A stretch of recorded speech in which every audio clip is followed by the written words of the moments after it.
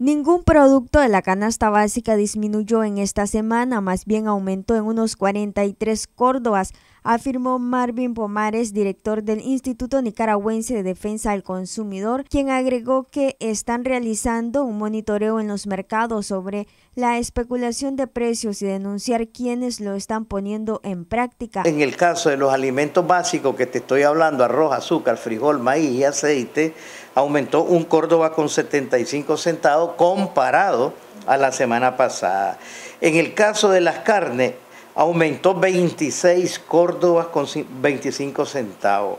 En el caso de los perecederos aumentó 15 Córdoba.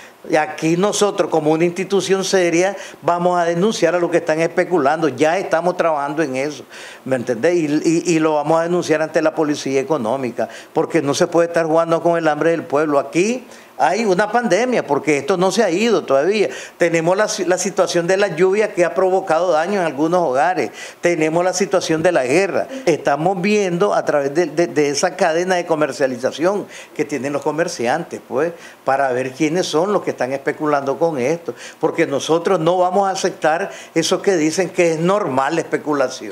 Pomares también se refirió al arancel que está quitando el gobierno a algunos productos y qué puede significar. La semana pasada el gobierno dice que le estaba quitando el arancel a lo que es el trigo, a lo que es el aceite, eh, digamos, de la palma africana y el aceite refinado. Le está quitando esto porque yo ya te estaba dando el precio del litro del, del, aceite.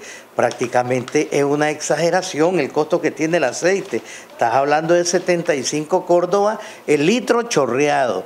Entonces, ahorita el gobierno hace esto para evitar que el aceite siga aumentando. Pues asume el gobierno eso para que estos no paguen arancel y el costo se mantenga y que baje un poco más. Sin embargo, también eh, aquí se, el, el MIFIP autorizó 1.535 toneladas de pollo.